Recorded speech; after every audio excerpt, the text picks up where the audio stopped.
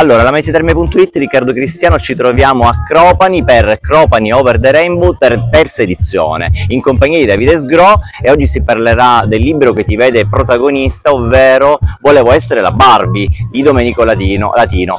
Vogliamo parlare anche del tuo impegno quotidiano nella lotta eh, soprattutto contro le discriminazioni e per i diritti civili.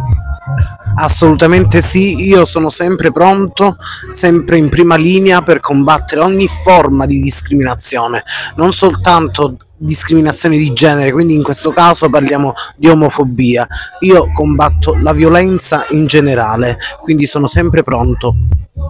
Se volessimo per esempio invitare le persone ad acquistare il tuo libro, perché comunque è un libro che parla di te, racconta la tua storia di ordinaria discriminazione ma anche di riscatto, perché comunque tu ormai sei un eh, professionista, sei una persona che è anche affermata non solo sotto il profilo social ma anche sotto il profilo lavorativo, eh, tu come inviteresti le persone ad acquistare il tuo libro? Perché devono acquistare il tuo libro?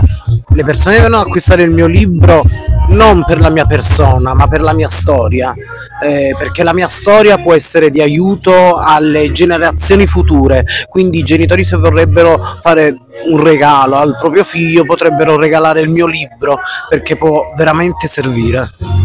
Diciamo anche che il tuo libro è stato presentato di recente anche in una scuola, quindi perché non invitare anche i docenti ad acquistare questo libro per proporlo perché di discriminazione purtroppo è ancora una tematica all'ordine del giorno e si parte ovviamente dalle scuole, quindi tu che sei stato in una scuola avrai visto anche gli studenti rivolgerti. Assolutissimamente sì, è stata una bellissima esperienza, io ho presentato il mio libro in varie scuole, sia in Calabria sia in, ter in territorio campano dove attualmente vivo e quindi sì perché no? Invito i professori ad acquistare il libro eh, soprattutto i professori di questo territorio qua. In questo caso parlo di Cropani